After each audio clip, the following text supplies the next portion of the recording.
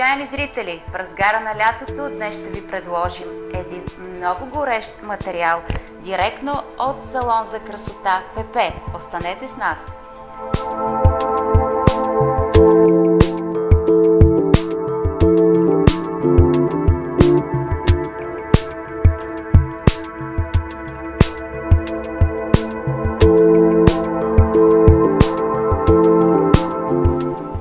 Знам, че в момента не съм в подходящ вид за снимки, но това е умишлено.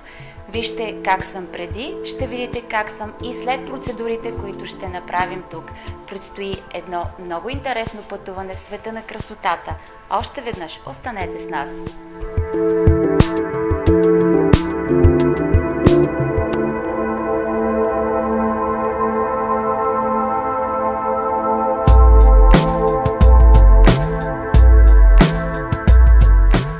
Така, вече съм на кошетката в салон за красота ПП.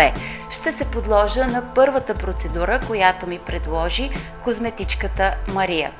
Това е оформяне и почистване на вежди.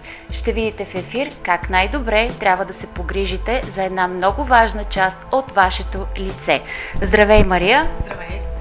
Много се радвам да се запознаем. След маничко зрителите ще видят как започваме моите разкрасителни процедури от веждите. Веждите са една много важна част от лицето, особено както е топло, както е светло, всяко косъмче си личи.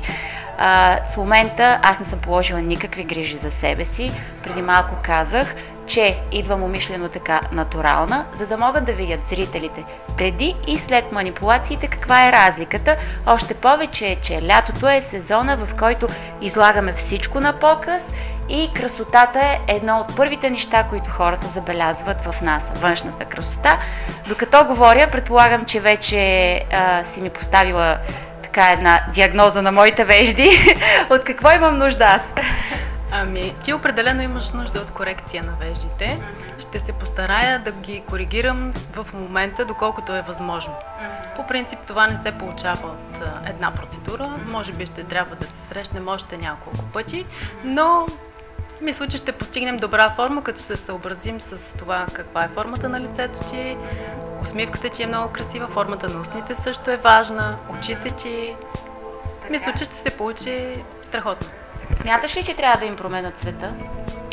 Не е задължително, защото имаш светли очи, светла коса и ако са ти светли и веждите, просто няма да има никакъв контраст и ще бледнееш изцяло. Смятам, че цвета е добър, формата ще я коригирам.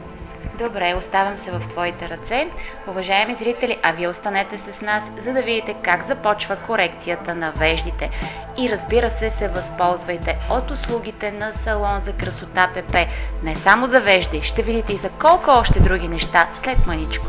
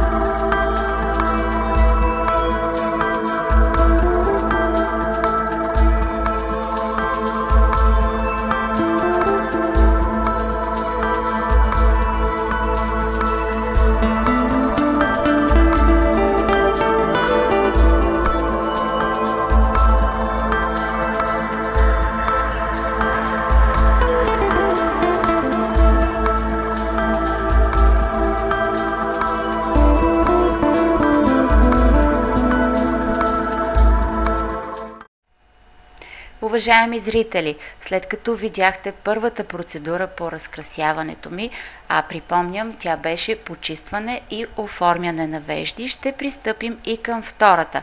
Но преди това чуйте няколко съвета за добре почистени и оформени вежди от козметичката в салон за красота ПП Мария. Мария, нека да кажем няколко съвета на нашите зрители за красиви вежди. Докато ми ги почистваше, ми спомена, че не е хубаво всеки ден да премахваме косъмчетата, които се а, появяват. Защо? Да, точно така. Не е хубаво да се премахват всеки ден косъмчетата, защото всеки ден ще имаме нещо за почистване. Uh-huh. Най-добрият вариант е почистването да става един път в седмицата, като това уеднаквява растежа на всички косъмчета. Което значи, че веднъж в седмицата ние имаме дълги косъмчета, които примахваме, след което една седмица веждите ни изглеждат добре оформени и почистени. Тоест, ако не ги махаме, през това време няма да имаме а, такива нежелани окосмявания. Има маличък период, има, сигурно. Има, има косъмчета, но те не пречат на основната и а, mm-hmm. Всъщност перфектна форма, която е създадена. Затова най-добре е да се почистват веднъж в седмицата, за да може формата да си остане такава, каквато трябва да бъде, а да не се променя при ежедневното примахване на тези нежелани малки косъмчета. А, преди мъничко също така ми каза, че веждите трябва да започват от началото на окото. Да, а, това е една много специална част на нашето лице. Вежите са рамката на лицето ни. Има определени правила, които трябва да се спазват. Естествено, индивидуално е при всеки това, защото трябва да бъдат съобразени с формата на лицето, с формата на очите. Началото на веждата винаги трябва да започва от началото на окото. Много често срещано е едно голямо разстояние между веждите, което всъщност оптически придава раздалечаване и на самите очи а оттам и промяна в цялото лице, в цялостната му форма. Така че един професионалист знае с какво да се съобрази. С очите, с носа дори е много важно каква е формата на носа, за разстоянието между вежите, с формата и дебелината на устните, скулите, челото, широко ли е, тясно ли е. Нали, всичко това е от значение за вежите. Така че м- заповядайте при нас.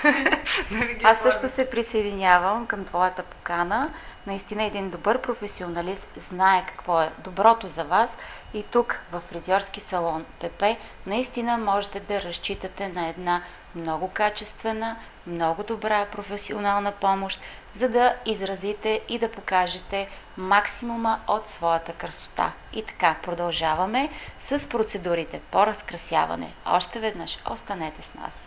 1991 and I just begun 1991 and I just begun 1991 and I just begun 1991 and I just begun 1991 and I just begun Уважаеми зрители, а сега ще ви запознаем с една много модерна и много а, полезна процедура по разкрасяването, която е важна за цялото тяло.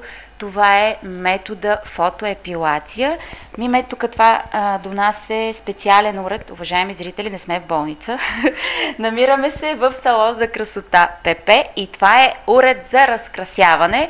Разбира се, красотата ще спаси света. И колкото по-красиви се чувствате, толкова и по-здрави се чувствате. Така че има връзка между красотата и здравето. Така това в кръга на шегата, но е истина. А, Миме, кажи ми сега какво представлява този уред? Това е уред за фотоепилация. Mm-hmm. Може би последния създаден като модел до момента. Mm-hmm. Той е подобрен и с него се м, постига всъщност едно трайно обезкосмяване на всички части на тялото, на които желаем. Mm-hmm. А, метода всъщност това е м, епилация чрез светлина. Самия косъм улавя светлината и по този начин се унищожава корена му, след което той сам пада и не излиза доста дълго време. Тази процедура се прави няколко пъти, докато имаме резултат. И след това можем да поддържаме, като веднъж в годината си правим тази процедура за дълготраен ефект. Ами, нека да видим какво представлява тази процедура. Като цяло, бързо ли става, за колко време? Много бързо става. Всъщност зависи от зоната, на която я правим. Примерно мишниците, те са готови за около 3 минути. А, а трябва ли да има поникнали косъмчета, когато правим фотоепилация? Не. Не трябва да има поникнали косъмчета, дори напротив, те трябва да бъдат отстранени преди това, като се подстрижат или се обръсне мястото, на което ще бъде правена фотоепилацията. Така че може и след кола, но примерно колата да не е правена същия ден, пак може да се направи фотоепилация, защото във всеки един момент на тази зона, на която ще правим фотоепилация, има косъм, който е в подходяща фаза, ще улови светлината и ще се повлияе Добре. Това е нещо много интересно. Няма да чакаме да израснат. Напротив, когато решим, винаги може да дойдем и да премахнем нежеланото окосмяване. И разбира се, в един такъв период от време, когато ни е удобно и когато искаме, защото по всяко време може, независимо дали са израснали или не. И казваш на цялото тяло, без изключение може. Без изключение на цялото тяло. Единственото важно нещо с процедурата е това, че трябва да се използва слънцезащитен крем, когато се правят процедурите на лицето. Но това естествено се обяснява на всеки клиент, препоръчва се подходящия крем, начина му на употреба, така че може да се прави процедурата целогодишно. Ами да видим как става тази процедура. Готова съм да се подложа и на нея. Останете с нас, за да видите и да разберете нещо много важно, много полезно, което а, е една услуга, която със сигурност ще ви бъде изключително важна за лятото, а и не само за лятото тук в салон за красота ПП. И разбира се, забравихме да питаме Мими, боли ли? Не, процедурата не е болезнена, усеща се едно леко затопляне на мястото, на което се работи. Добре. Не ме е страх, започваме. It doesn't matter